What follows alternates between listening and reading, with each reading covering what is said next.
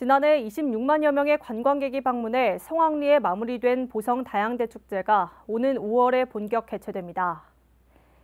문화체육관광부에서 지정한 문화관광축제인 보성 다양대 축제는 K컬처 관광 이벤트 백선에 선정됐고 천연 차의 유혹, 보성의 프로포즈라는 주제로 열립니다.